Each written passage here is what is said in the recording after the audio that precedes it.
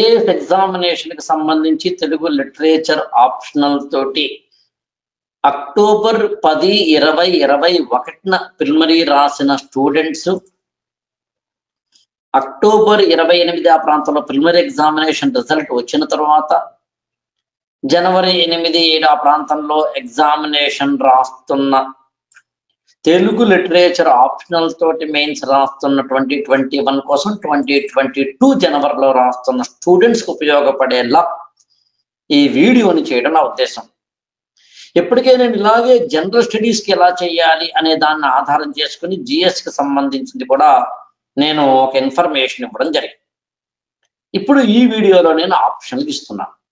అది కూడా Telugu literature. But ఎవరికైనా కానీ లిటరేచర్ పరంగా ఈ క్లాస్లో నేను కొన్ని మాటలు చెప్పినప్పటికీ ఎనీ ఆప్షనల్కి ఈ స్ట్రాటజీ ఉపయోగపడుతుంది. ఫస్ట్ పాయింట్ నవంబర్ ఒకటి నుంచి మీరు తీసుకుంటే మీకు దాదాపుగా మెయిన్స్ రాసే time sixty to sixty five అరవై నుంచి అరవై ఐదు రోజులు ఉన్నాయి. జనవరి ఏడు ఆ- లేదా ఎనిమిది ఆ ప్రాంతంలో మీరు ఎగ్జామినేషన్ రాసే సమయానికి. రోజుకి పది నుంచి పన్నెండు గంటల పాటు కష్టపడండి. చదవాల్సిందే. డేని మూడు బ్లాక్లు చేసుకోండి. ఇక్కడ చూడండి. మూడు బ్లాకుల్లో ఒక బ్లాక్ని జనరల్ స్టడీస్ ప్రిపరేషన్కి ఇవ్వండి. ఇంకో బ్లాక్ను ఆప్షనల్ ప్రిపరేషన్కి ఇవ్వండి. ఈ ఆప్షనల్ ప్రిపరేషన్ మీదనే ఈ వీడియో చేస్తున్నాను నేను. దీనికి ముందు ఒక వీడియో చేశాను అది జిఎస్ ప్రిపరేషన్ మీద మాత్రమే చేశాను. ఆప్షనల్ రాసే స్టూడెంట్స్ ఆల్రెడీ కోచింగ్ తీసుకున్న వారు ఉండవచ్చు. కోచింగ్ ఇంకా తీసుకోకుండా ప్రిలిమరీ పాస్ అయిన వారు ఉండవచ్చు. అంటే ఆప్షన్ హఠాత్ హఠాత్తుగా షిఫ్ట్ చేయడము ఇలాంటివి చేసే స్టూడెంట్ ఉంటే. ఇప్పటికే తెలుగు లిటరేచర్ ఆప్షనల్ తోటి మెయిన్స్ రాసిన వారు ఉండవచ్చు. రెండు లేదా అంతకన్నా ఎక్కువ సార్లు మెయిన్స్ ఇప్పటికే తెలుగు లిటరేచర్ ఆప్షనల్తో రాసిన వారు ఉండవచ్చు. ఇంటర్వ్యూకి తెలుగు లిటరేచర్ ఆప్షన్లతో అటెండ్ అయి ఫెయిల్ అయిన వాళ్ళు లేదా అనుకున్న ర్యాంక్ రాని వాళ్ళు ఉండవచ్చు. ఇక్కడ తెలుగు లిటరేచర్ కాకపోతే ఆంధ్ర ఆంధ్ర కాకపోతే సోషియాలజీ సోషియాలజీ కాకపోతే జాగ్రఫీ జాగ్రఫీ కాకపోతే history whatever you name it అటు తిరిగి తిరిగి ఒకటే గుర్తుంచుకోండి. ఆప్షనల్ అనే దాన్ని మీరు ఎగ్జామ్ హాల్లోకి వెళ్ళే సమయానికి ఈ ఐదు గ్రూపుల్లో ఎవరో ఒకరు మీకు ఉంటారు. ఐదు గ్రూపుల వాళ్ళతోటి మీరు కంపీట్ చేస్తున్నారు. అందులో మీరు రియలైజ్ అవ్వాల్సింది ఏంటంటే మీరు ఎక్కడున్నారు? అంటే ఇంకా కోచింగ్ తీసుకుని వారా తీసుకుని మెయిన్స్ రాయని వారా వాట్ ఎవరు యూ నేమ్ ఇట్ మనం ఎప్పుడూ కూడా where we where are we అంటే ఎక్కడున్నా మనం తెలిసినప్పుడు మాత్రమే ఎక్కడికి వెళ్ళాలో తెలుస్తుంది ఎంత టైం పడుతుందో తెలుస్తుంది. సరే నిహో అది తెలుసుకోండి. తర్వాత మీరు చాలా చాలా జాగ్రత్తగా తీసుకోవాల్సిన పాయింట్స్ ఏంటంటే తెలుగు లిటరేచర్ ఆప్షనల్కి సంబంధించి ఆల్రెడీ ఉన్న మెటీరియల్ని నోట్స్ని ఒక రీడింగ్ ఇవ్వండి. I'm speaking about of course Telugu literature optional but దేనికైనా ఇది వర్తిస్తుంది? తెలుగు లిటరేచర్ ఆప్షనల్ని మీరు మీ దగ్గర ఉన్న నోట్స్ లేదా మెటీరియల్ని ఫుల్ రీడింగ్ ఇవ్వడం. ఇందాక నేను మీకు చూపించాను ఇక్కడ sixty to sixty five days ఉన్నాయని. వాటిలో నేను ఎప్పుడెప్పుడు ఎలా చేయాలో చెప్తాను. మీ దగ్గర ఆల్రెడీ ఉన్న మెటీరియల్ లేదా నోట్స్ని కాస్త అటు ఇటుగా ఫిఫ్టీన్ డేస్లో కంప్లీట్ చేయాలి మీరండి. ఫిఫ్టీన్ డేస్లో పెర్ డే ఫోర్ అవర్స్ని పెట్టుకోండి. పేపర్ వన్కి టూ అవర్స్ పేపర్ టూకి టూ అవర్స్ పెట్టుకోండి.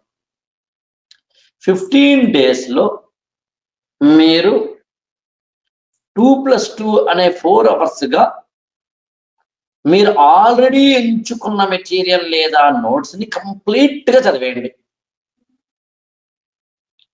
ఇలా చదివేసిన తర్వాత సిలబస్ని ఒక్కసారి చూడండి. సిలబస్లో వెరీ వెరీ రిమోట్గా ఉన్న areas very very remote very very రిమోట్గా ఉన్న ఏరియాస్ తెలుగు లిటరేచరే కావచ్చు ఎనీ ఆప్షనల్. తెలుగు లిటరేచర్ తీసుకుంటే ఉదాహరణకి ఫస్ట్ చాప్టర్ పేపర్ వన్లో పార్ట్ ఏలో యాంటిక్విటీ అని ఒక పదం ఉంటుంది. యాంటిక్విటీ అనే పదం నిజానికి అక్కడ ఒక విధంగా చెప్పాలి అంటే తెలుగు భాషకు సంబంధించిన ప్రాచీనతకు సంబంధించిన అంశం అది. ఆ యాంటిక్విటీ అనే పాయింట్ని కనుక మీరు చూస్తే అది ఒక రిమోట్ పదం అవుతుంది అనమాట ఇలా రిమోట్ వర్డింగ్ని పట్టుకోండి. రిమోట్ ఏరియాస్ని పట్టుకోండి. అంటే సిలబస్లో ఇంకా మిగిలిన టాపిక్స్ సింపుల్ చెప్పాలంటే వాటిని లిస్ట్ అవుట్ చేయండి. అంటే మీరు చదివిన మెటీరియల్ లేదా మీరు చదివిన నోట్స్ లోంచి సిలబస్ ఒకసారి కంపేర్ చేసుకుంటే ఏ ఏ అంశాలైతే మీరు ఇంకా చదవాలి ఎక్కడో మిగిలిన ఇది సరిపోదు నా దగ్గర మెటీరియల్ అనిపించినదంతా లిస్ట్ అవుతాయి. ఆ లిస్ట్ నుంచి నోట్స్ని తయారు చేసుకోవాలి మీరు. ఇప్పటికిప్పుడు నోట్స్ తయారు చేయడం కష్టం. అందులో ఏం చేస్తారంటే దానికి ఎక్కడో అక్కడ నోట్స్ పట్టుకునే ప్రయత్నం చేయండి. ఎవరైనా మీలో ఆ నోట్స్ లేకపోతే నేను ఇస్తాను. నేను చివరిలో అనౌన్స్ చేస్తాను. మీకు నేను ఏమి సపోర్ట్ చేస్తాను అన్నది. బట్ ఇప్పుడు first step number one and step number two పూర్తయ్యేసరికి మీరు చేయాల్సిన పని ఏంటంటే టోటల్ కంప్లీట్ సిలబస్ని కంప్లీట్గా చదువుకోవాలి. దీనికి ఒక టెన్ డేస్ పెట్టుకోండి ఈలోగా కొన్ని రిమోట్ ఏరియాస్ లిస్ట్ని మీ ఫ్యాకల్టీ లేదా మీ మెంటార్ తయారు చేసి ఇమ్మనండి. మెయిన్స్ని రాస్తున్న స్టూడెంట్స్కి ప్రతి ఏడాది నేను జనరల్ స్టడీస్ లోనూ అలాంటి రిమోట్ ఏరియాస్ని టాపిక్స్ని ఇస్తాను. జనరల్ స్టడీస్లో కూడా ఇస్తాను నేను. అలాగే జిఎస్లో మెయిన్స్ ఎగ్జామినేషన్ రాసే సమయానికి అలాగే తెలుగు లిటరేచర్ కూడా ఇస్తాను. బట్ ఈ వీడియో మీరు చూస్తున్న సమయానికి మీరు నా స్టూడెంట్స్ కాకపోవచ్చు. తెలుగు లిటరేచర్ ఆప్షన్లకి సంబంధించి మీరు ఇంతకు ముందు ఎక్కడైనా కోచింగ్ తీసుకుని ఉండవచ్చు కానీ ఈ ఏడాది మీరు మెయిన్స్ రాస్తున్నారు. మీరు నాగరాజ్ సార్ దగ్గర కావచ్చు లేకపోతే నా దగ్గర కావచ్చు లేదా ఇతర ఎవరెవరైతే ఉన్నారు. ఈ మధ్యన కొత్తగా అనేక మంది తెలుగు లిటరేచర్ కావచ్చు ఇతర ఆప్షన్స్ చెప్పడానికి ముందుకు వస్తున్నారు. వారి దగ్గర ఎవరో ఒకరి దగ్గర మీరు మీరైతే కోచింగ్ తీసుకుని ఉండి ఉంటారు ఈ కానీ ఎడ మీరు మెయిన్స్ రాస్తున్నారు ఏ కారణం చేతనైనా అక్కడ మీకు ఇంకొంచెం రిమోట్ ఏరియాస్ లిస్ట్ ఉంటే నేను చదువుతాను సార్ ఐఎమ్ రెడీ టు అని అంటే నేను మీరు ఎవరి దగ్గరైనా కోచింగ్ తీసుకోండి. నేను ready to give a list and material also మీకు లిస్ట్ ఇచ్చేయడం మాత్రమే కదా. I want to give that material also. Free of cost మళ్ళీ దానికి ఏమీ డబ్బులు అక్కర్లే. బట్ మీరు ఐఏఎస్ అవ్వాలి. తెలుగు లిటరేచర్తో ఐఏఎస్ అవ్వాలి. తర్వాత నెక్స్ట్. ఈ రెండు మీ చేతిలో ఉన్నాయి. చెయ్యండి.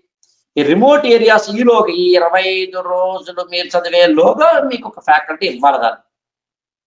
తర్వాత ఓల్డ్ క్వశ్చన్ పేపర్స్ని కాన్సెప్ట్స్ అండ్ టెర్మినాలజీ కోసం విపరీతంగా చదవండి. ఓల్డ్ క్వశ్చన్ పేపర్స్లో టెర్మినాలజీని తీసుకోండి. ఒక లిస్ట్ తయారు చేసుకోండి. ఆ లిస్ట్ కూడా నేను తయారు చేశాను. అది కూడా కావాలంటే ఇస్తాను మీకు.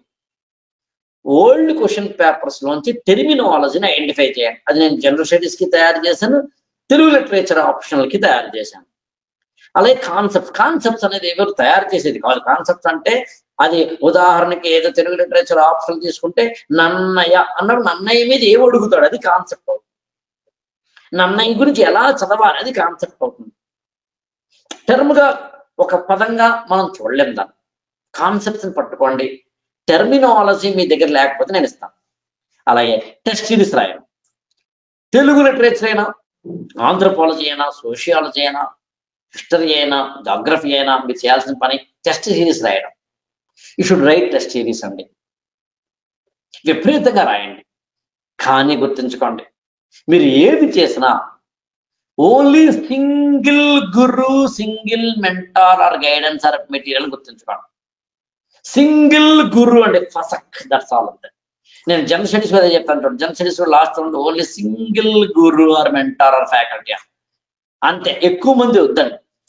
ఎక్కువ మందిని ఎప్పుడూ కూడా గురువులుగా ఎంచుకోకూడదు. ఎవరో ఒకరు తప్పో ముంచినా తేల్చినా ఆయనతోటి లేదా ఆవిడతోటి అంతే. అది జిఎస్టీ అయితే నేను చాలా సందర్భాలు జిఎస్ పేరు ఎవరైనా వజ్రమన్ రవి కావచ్చు లేకపోతే లాయాక్సన్స్ కావచ్చు లేకపోతే అనలాగ్ కావచ్చు ఆర్సి రెడ్డి గారు కావచ్చు బ్రెయిన్ ట్రీ కావచ్చు కృష్ణపతి పైఎస్ కావచ్చు లేకపోతే బాలత మేడం కావచ్చు ఆకలి రాఘవేంద్ర ఈ గురుకులం కావచ్చు తెలుగు లిటరేచర్ అయితే నాగరాజ్ సార్ కావచ్చు నేను కావచ్చు లేకపోతే ఇంకెవరైనా ఐ థింక్ సత్యనారాయణ సార్ కావచ్చు అంటే ఇంకెవరైతే ఉన్నారో ఇంతకుముందు అయితే ద్వానాశాస్త్రి గారు ఉండేవారు ఇప్పుడు ఆయన పరమపతించారు కాబట్టి ఎవరైనా ఉంటే ఎవరైతే see I don't know their names కాబట్టి ఐఎమ్ నాట్ మెన్షనింగ్ బట్ మీరు ఎక్కడ జాయిన్ అయినా ఒక సింగిల్ గురుని ఎంచుకోవడం. ఈ అరవై రోజులకి మీరు ఏం చదివారో ఎలా చదివాలో రిమోట్ ఏరియాస్ ఏంటో ఏమేమి ఉన్నాయి ఇంకా ఏమేమి కావాలని మీకు అనిపిస్తే just eight one four three nine one nine six nine one అనే దానికి మీరు మీ హాల్ టికెట్ని అక్టోబర్ పది ఇరవై ఇరవై ఒకటి. మీ హాల్ టికెట్ని దీనికి మీరు పంపిస్తే అప్పుడు మేము మీకు నేను పర్సనల్గా మీకు కాల్ చేసి మీరు ఏం చదివారు ఏం చదవలేదు లాంటివి తెలుసుకుని ఎడిషనల్ మెటీరియల్ ఏం కావాలని మీకు చెప్పి అక్కడ నుంచి నేను మిమ్మల్ని ముందుకు రప్పిస్తాను ఇదంతా వీడియో కాల్ ద్వారా చేస్తాను. మళ్ళీ మీరు మా దగ్గర రావాల్సిన అవసరం లేదు. ఒక విధంగా చెప్పాలి అంటే తెలుగు లిటరేచర్ ఆప్షనల్లో దాదాపు అంటే ఐదు వందల మార్కులకి కాస్త అటు ఇటుగా మూడు వందల మార్కులు దాటి రావాలి మీకు అని గుర్తుంచుకోండి. If you are getting three hundred more marks you are అంటే ఇక బెస్ట్ సూటబుల్ అవుతారు. బట్ సరిపోదండి. మినిమం నేను మాట్లాడేది యాక్చువల్గా three hundred twenty three hundred thirty three hundred forty అక్కడ దాకా వెళ్ళాలి. అలా వెళ్ళడానికి అరవై రోజులు మాత్రమే ఉన్న ఈ టైంలో ఫోకస్డ్గా చదవాలి. జనరల్ స్టడీస్ అయినా తెలుగు లిటరేచర్ అయినా. ఫోకస్డ్గా మీ యొక్క ప్రిపరేషన్ సాగించడానికి ఒక మెంటర్గా ఈ అరవై రోజుల పాటు మీతోటి ఉండాలని మీరు అనుకుంటే నేను మీకు తోడుగా ఉంటానని తెలియజేస్తూ దానికి eight one four three nine one nine six nine వన్కి మీరు మీ యొక్క హాల్ టికెట్ని పంపించండి. ఇక ఇక్కడ ఇవాళ హఠాత్తుగా మెయిన్స్ ఎగ్జామినేషన్ రాసే సమయానికి ప్రిమరీ ఎగ్జామినేషన్ పాస్ అయిన తర్వాత ఎలా చదవాలి ఏం చదవాలి ఇలాంటివి తెలియకుండా రిమోట్ ఏరియాస్ ఏంటో తెలియకుండా ఇంకా ఇతరత్ర తెలియకుండా ఉండే ఒక పరిస్థితిని ఎవరైతే ఇప్పుడు ఇంకా మరి రాయని వారు రాసిన ఫెయిల్ అయిన వారు ఉన్నారు. కనీసం ఇప్పుడైనా కళ్ళు తెరవండి.